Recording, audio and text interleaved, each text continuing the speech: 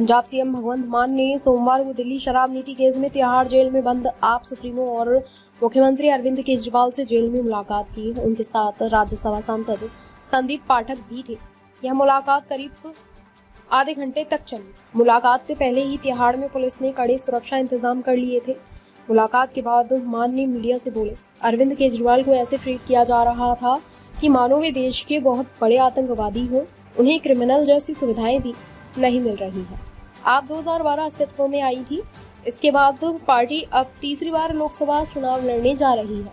लेकिन यह पहला मौका है जब आप संयोजक केजरीवाल जेल में हैं। इस बार आप विपक्षी दलों के आईएनडीआईए गठबंधन का भी हिस्सा है।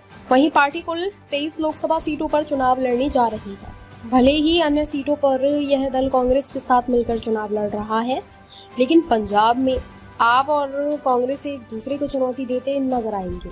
ऐसे में चुनाव में किन मुद्दों को लेकर जाना है, साथ ही अन्य दलों के साथ किस तरह प्रचार करना है, इन सब बातों को लेकर बात हुई क्योंकि इस समय भगवंत मान ही पार्टी के स्टार प्रचारक है। सीएम मान और अरविंद केजरीवाल के बीच फेस टू फेस मुलाकात नहीं हुई। इस पर आपके राज्यसभा मेंबर संजय सिंह आपत्ति जता चुके हैं। उन्होंने कहा कि सीएम मान कोई अपराधी नहीं है, उनकी सीधी मुलाकात करवाई जानी चाहिए थी।